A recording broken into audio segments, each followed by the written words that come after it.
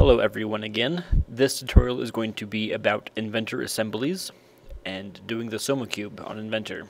This is a not a very complicated tutorial, but students get confused on it quite often. The most common question is that students make this first cube, they immediately ask the question, how do I make more cubes or duplicate this to put them together? We're going to address all those things today, starting with making the base cube.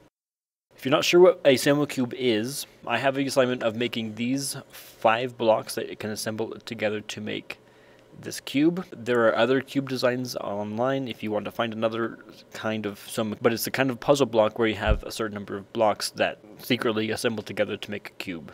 Uh, if you want to find your own design, that's fine. Some have five pieces, some have seven. The kind I use has five different pieces. So first thing you have to do in Inventor is make a new part you have to make the one block by itself. So I'm just going to here make a rectangle. This is going to be our cube. It's just going to be one inch by one inch. Pretty simple. Uh, finish that sketch and extrude it. It's going to be one inch.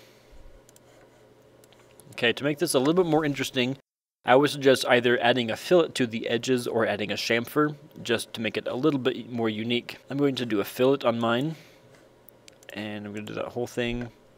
This is going to kind of round off the edges. It's going to be pretty nice. I'm going to do 1 16th. Okay, so we have a kind of block with rounded sides. That'll be nice. Now we're going to save this. I would suggest making a new folder here and calling this Soma Cube. Inventor is a little bit picky about where you save your files and what you save your files as. In order to prevent all those headaches, if you save everything in the same folder and never change the name and never move things, Inventor will stay happy. So be in that folder.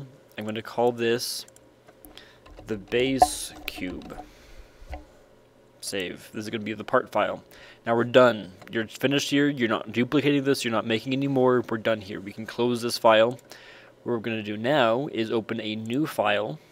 This time we're not going to do a part, we're going to go down a level to the assembly. On the assembly you can enter in many copies of the same part and assemble them together, which is what we're going to do. Okay, so here's our blank assembly file. Like always, the first button we click is the upper left corner. Right now it says place. You want just a regular place. And I'm going to go and find that folder and the base cube that I just barely saved. Let's open that. I'm just going to put in one copy. I'm going to put in a couple more. And I know from this that I need um, a certain number of blocks for each one of these. So if I want to make this piece right here, I can see I need one, two, three, four, five, six blocks. So I'm going to place in six blocks. Okay, now you'll notice that this first one I entered in, it has this push pin. This push pin means that this is grounded. It cannot move, it's the base. We're going to be attaching all these other blocks to this block because that's the first one, it was the grounded one. So let's first make this kind of L shape right there. The way you assemble things in Inventor is this constrain button right there. There's many different types of constraints. It's not not actually that difficult. Let me explain the, the two main types. With a normal kind of assembly, there's a mate and there is a flush. There's other kinds of tangential and insert constraints, but we're, just going to do with these kinds of mates. So when you click on one of these faces, for example, that one, you'll see the face turns a color, and there's also an arrow that points away from that face right there. A mate, you can see these arrows, same thing right there. Those arrows are going to point at each other, and they also the face is going to um, be on the same plane or touch. So I want that face to touch this face. So it'll snap together. You can see a little bit of the blue face there, and that's going to touch this yellow face right there. Those two faces are facing each other, the arrows point at each other, and they also touch. Okay, so apply. The other kind of constraint is a flush, and it's the second button right there. If you have ever gone to a library and either pushed the books backwards or pulled the books forward so that the front of the books all line up, that is making the books flush. Uh, so if I click on the sides here, it takes both these arrows. It says the arrows have to point the same direction. Now, so I'm going to do that to the top. Do that scooted down a little bit. And okay. Okay, now this is the base block. I couldn't move that before. This one, I cannot move anymore. Okay, with those three two flushes and a mate, I can't move this anymore. It's kind of locked in space. I can still move these. They have no constraints on them. But this has enough constraints that it cannot move anymore. So now I'm going to take one block and put it on top of there. So I want a mate that touches part of there. I can still move this around a little bit. It can slide, but those two faces are going to be touching all the time. Now I'm going to do a flush. And I can only slide back and forth. And then a flush on the other side. And now it can't move at all. Okay? This block needs to belong, um, will this look? needs to belong right there. I don't want to put it right there. I need this block there first, and then I'll attach this. Attach that block there, and then this block is going to go kind of right there. So let's assemble that in. Constrain. Those mate. Apply. The sides flush. Apply. If we look at the bottom, those flush and apply. Okay, now we can attach this block on. We do mate. This touches that. Apply. The tops can line up and the sides can line up. Now this needs to go in the middle, just right there. So let's rotate around so you can see that. And just like that. Okay, and apply. I'm also going to flush the bottoms so those line up. Now, with that, this block can still slide back and forth because it's not constrained fully yet. We need to add one more.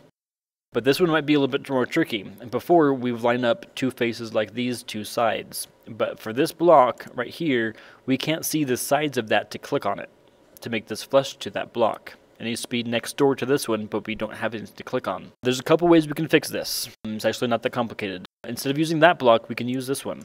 That's just fine. It will work perfectly fine. We can also say I want to mate this with that face.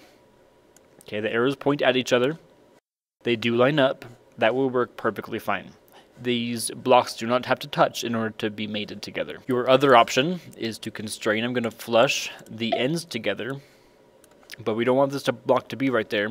If you see this box had an offset, offset means it's going to line up, but one's going to be pushed backwards a little bit. So if you do offset of 0.2, it's going to scoop back 0.2. If you do offset of 0.8, it's going to scoop back 0.8 inches. I want it to scoop back 1 inch, which is exactly where I want it to be, and hit OK. And now this one cannot slide anymore. Okay. If you ever enter a constraint by accident and you don't want it to be there, if you click on the plus sign next to one of these, you'll see all of the mates that one of these blocks has. If one's causing trouble, you can just delete it very easily. Um, if you ever enter a constraint that Inventor isn't happy with, so if I try to mate those two, this box will pop up that says is not happy. Uh, this constraint will conflict with existing constraints. So I'm just going to cancel this one. You can, depending on what your problem is, you can figure out what you're supposed to do. Now I have one of these blocks done. I'm going to save this or actually I'm going to give it a material first so it looks kind of like a piece of wood and then we're going to save this I'm going to call it save this in the same folder as I did before in the Soma cube and I'm going to call this block 1 and save now to finish all these how many files will you need until you are done okay we already made one base block and we've already made one assembly. If you think about this, how many files will you need by the time you're done? You'll need one block, you'll need five assemblies for each one of these blocks, and then one more assembly, and you put each of the five in so you can try to assemble the the, the block as a as a puzzle cube. Uh, so for a five block puzzle, you will need seven files in total by the time you're done. If you are doing a 7 Soma Cube variation, you will need 9 files in total. So in this folder right here, right now we just have the base cube and the block. By the time we're done, we will have all 7. If you need more help than that, then you know where to find me.